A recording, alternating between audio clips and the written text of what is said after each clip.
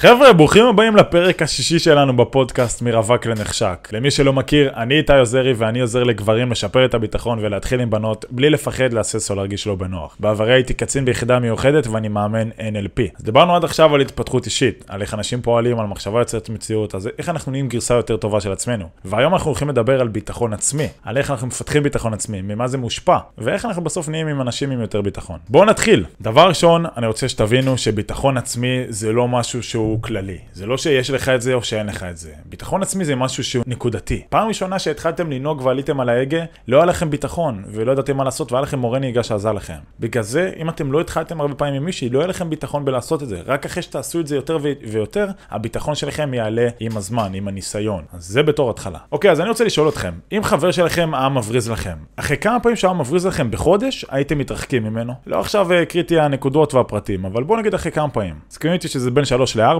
עכשיו אני רוצה לשאול אתכם, כמה פעמים אתם קובעים עם עצמכם משהו, והברזתם לעצמכם ביום אחד? קחו איזה רגע לחשוב על זה. אם זה לקום בבוקר, אם זה לסדר את החדר, אם זה להתאמן, אם זה להתחיל עם מישהי. ואם אתם אומרים לי שאתם עומדים בכל דבר שאתם אומרים שתעשו, אז מעולה. אבל כנראה שהרוב מכם לא עומד במילה שלו כל הזמן, ולפחות פעמיים, שלוש, ארבע פעמים ביום, הוא לא עומד במילה שלו מול עצמו. ומה קורה? שחבר מבריז לך, אתה לא סומך עליו, אתה לא בוטח בו. כשאתה מבריז על עצמך, אתה לא בוטח בך, אתה לא סומך על עצמך. בוטח בעצמך, ביטחון עצמי. ואם אמרנו שלוש, ארבע פעמים ביום, בחודש זה 120 פעמים לעומת שלוש פעמים, ארבע פעמים של חבר מבריז לכם. ולמה זה קורה? כי אתם אומרים, טוב, זה אני מול עצמי, זה לא פוגע באף אחד. אבל זה כן פוגע. במי?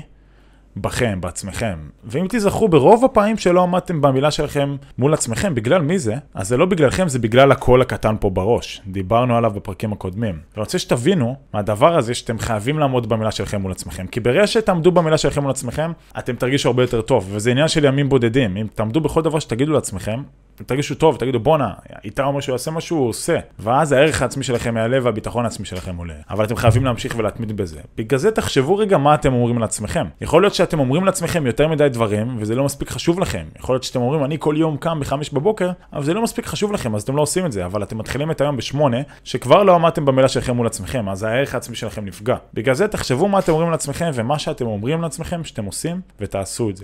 מה. ולא תצליחו לעמוד במילה, אבל כמה שיותר תעמדו במילה שלכם, ואז פעם הבאה שתראו מישהו ותגידו, אני אתחיל איתה, בטח שאני אתחיל איתה. אני אומר שאני אעשה משהו, אני עושה את זה. אני רוצה שתבינו שברגע שאתם תהיו עם ביטחון, ברגע שאתם תאמינו בעצמכם ותחשבו שאתם נראים טוב, זה יעבור לסביבה שלכם. ברגע שתחשוב שאתה חתיך, זה יעבור לסביבה שלך ויראו את זה, כי זה משודר החוצה.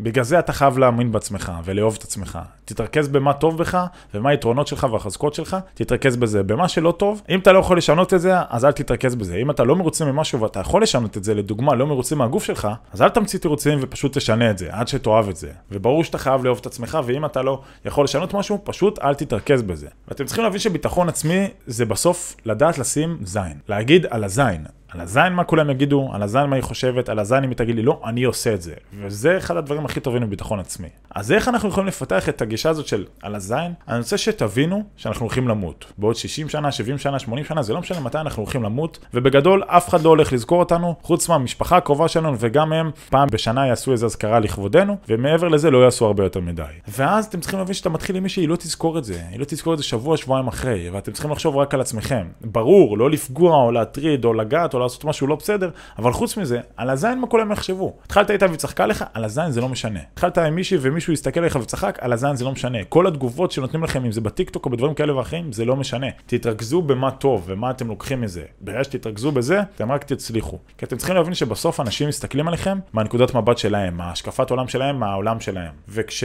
הוא רואה אותך מתחיל עם מישהו והוא מסתכל על זה, צוחק על זה, זה כי הוא לא היה מסוגל לעשות את זה. או אם אתה פותח עסק, כמו העסק שלי, ואנשים צחקו על זה ודיברו על זה, זה כי הם לא היו מסוגלים לעשות את זה. ואתם רוצים ללמוד מאנשים שהשיגו את מה שאתם רוצים. אתם רוצים שיהיה לכם ביטחון? תקשיבו לאנשים עם ביטחון. אתם רוצים לדעת איך להתחיל עם מישהי? תקשיבו לאנשים שאתם רואים שמתחילים עם מישהי והולך להם. אל תקשיבו למי שלא השיג את זה. אל תקשיבו, אם נגיד אתם רוצים להיות מיליונרים וההורים שלכם לא מיליונרים, אז אל תקשיבו להם. אל תקשיבו לחברים שאין להם חברות או שהם לא יודעים מה לעשות עם בנות, אל תקשיבו לעצות שלהם. תקשיבו לאנשים שהשיגו תשיגו את מה שאתם רוצים. אחד הדברים הכי טובים לזה גם, זה תודעת שפע. מה זה תודעת שפע? ברגע שאתם מרגישים שיש לכם משהו, לדוגמה עם בחורות, ברגע שאתם מדברים עם מספר בחורות ואתם מרגישים שאתם, יש לכם את היכולת הזה לדבר ולהשיג מישהי, אז אתם לא תהיו כל כך לחוצים על מישהי אחת. ואז אתם לא, גם אה, תפחדו מזה, כי אתם יודעים, טוב, יש עוד מישהי. אתה רוצה להיות בגישה של אני רוצה אותך, אבל אני לא חייב אותך. וברגע שאתה בגישה הזאת, הביטחון שלך יעלה, כי אתה מרגיש, טוב, יש לי מספר בחורות, אני מדבר עם כמה, הכל טוב. כמובן שאם אתה מתחיל קשר, קשר רציני, אז רק עם מישהי אחת. אבל ברגע שאתה מדבר עם מספר